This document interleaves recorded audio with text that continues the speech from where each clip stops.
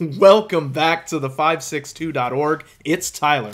And Mike in this high school football championship video is brought to you by Naples Rib Company. What a perfect scene for a CIF championship game, Mike, here at Jim Bond Stadium. Long Beach Poly against St. Francis. A lot of emotion in this game. This stadium named after former St. Francis coach Jim Bonds, who coached for 20 years and passed away last year. Golden Knights have a great head coach in Dean Harrington, who's won multiple CIF titles. And Dino is going to be asking a lot of six-six quarterback Jack Jacobs in this one, but here come the Jackrabbits. The icy whites with the green and gold. It is too cold as Poly is ready for this one. Jackrabbits also playing with a ton of emotion after losing longtime coach and Long Beach legend Keith Slice Thompson. Been wearing these helmet stickers the past two years.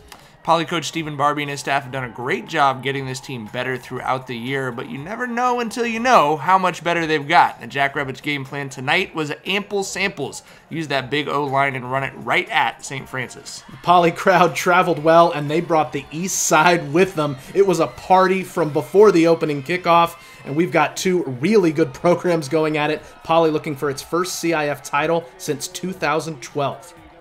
On the opening drive, the Golden Knights trying to get tricky, but Timmy Tuiagamoa puts his helmet on the football and it goes right to Malik Brown for the takeaway. Sometimes it's nice to have a little bit of luck on that opening drive, and you, when you wear 11, we call you Sticks. We got to call Timmy Hit Sticks because he's a thumper.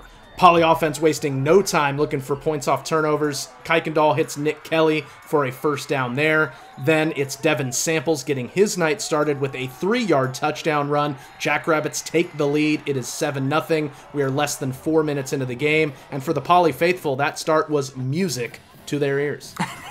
I see what you did there, Tyler. Uh-huh. Uh, St. Francis would answer back with a huge play as Jacobs finds Jet McCullough for a one-handed grab 56 yards down to the Poly 18.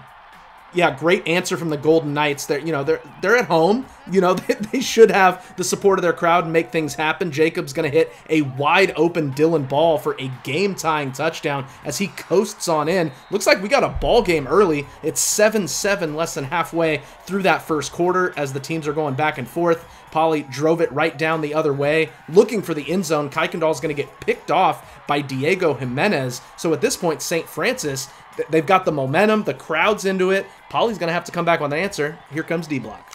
D block. They were up to the task. Noodles and D Will stuff the star running back Max Garrison, the San Diego State commit. Couple of pretty good 10th graders over there. And then in the pass game, Phoenix Tusa there first on the blow by, and the rest of the defense soon to follow. Jackrabbits playing lights out on defense as they have all playoffs long. Yeah, and bringing tons of emotion in the game, which certainly helped. Offense goes right back to work with samples. Then in the passing game to Titus Bordeaux. He'll be out of bounds near midfield. Swing pass goes to Nick Kelly, who jukes his defender out of the stadium, then takes it inside the red zone. He was shaken up on that play. Hope that he is all right.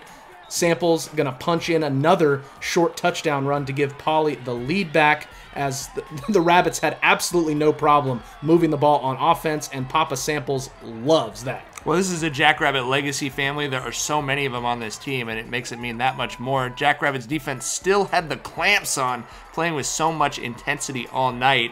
When they sent St. Francis was relaxing, they didn't relax. They went in for the kill. Jacobs is St. Francis' second leading rusher, but Ike Mikaele just teed off on him. The Repo Man is here to collect a championship tonight. Rabbits offense mixing in the screen game first to Samples and then they're going to be looking the other direction for the freshman Jaden Robinson, just given different looks. And you, this is really a youth movement for the Jackrabbits. A ton of 9th and 10th graders out there. Then they go back to the ground game as the junior Samples is going to power it down to the five. And you just see running with so much intent. Yeah, and forget Huey and Louie. It was Dewey, Dewey, and Dewey in the first half, Mike. Three rushing touchdowns for Devin Samples as Poly's up 21-7, two minutes left in the half. And that's when St. Francis got going in the two-minute drill, had a big trick play, and then used some quick passing as this was their best drive of the night, getting them down inside the Poly 10. But with a few looks at the end zone with under 20 seconds left, Tuiagamoa and the secondary did their job, setting up what we thought was a field goal try, but ah! Dean! It's a fake! And it was wide open, but the pass is just high. Poly dodged a bullet there, Mike. Well, you feel like St. Francis probably replaying that one over and over again in their head tonight. Definitely would have been a game changer. And then the Jackrabbits offense looks very similar after halftime. OG's told me never change when you win it, Tyler. Yeah, you just don't have to. But uh, eventually, Samples would be stopped deep in St. Francis territory. That's going to set up a Dylan Michelle field goal to make it a 24 7 Poly advantage. 8.44 left in the third.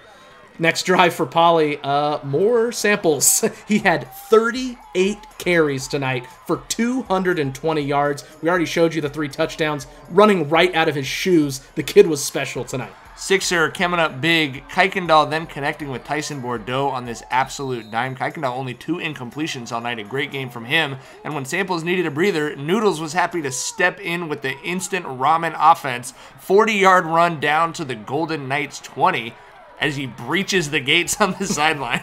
then Cason uh, going right up the gut, 14 carries, 133 yards in the run game. Also led the team in tackles as a 10th grader, and just got to shout out that O line, Mike. yeah, Wendell Moe and Tyson Ruffins, Nathan Samoa, and that entire offensive line just road grading. Obviously, got to give the love to Noodles and Samples, the running backs, but that offensive line was incredible. 388 rushing yards on 58 carries. That's 6.7 yards per carry as a team.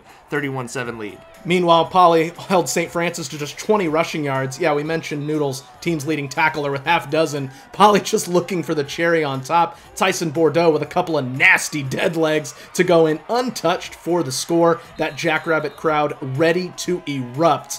Uh, unfortunately, hold on. Uh, this one called back a legal man downfield. And I mean, ah, Bordeaux's mad. The Bordeaux's are furious about this one, absolutely. But don't worry, that's what Aka, Ron Green, is there for. He punches in the human exclamation point, and it's a green and gold party on the visitors' sideline as the Jackrabbits and their fans can taste it. The confetti is in the air, the rings are going to be on the fingers. What a special night.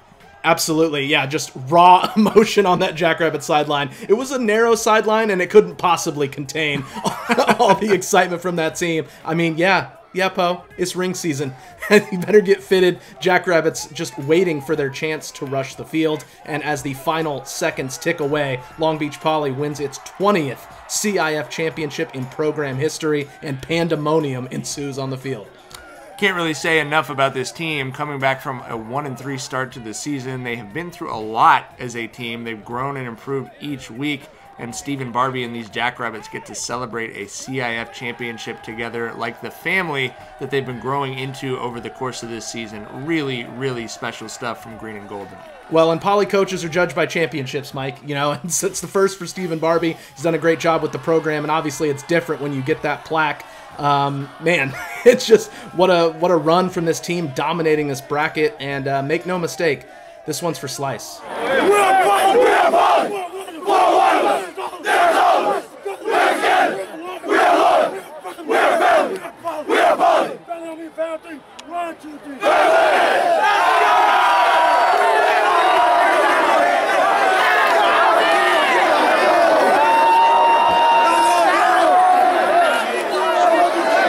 We'd like to thank all of our sponsors, including Ocean Law Center. There is still more Poly football coverage to come as the season stretches into December. They'll be hosting a CIF state game next week. Find out who and where they'll be playing at the562.org.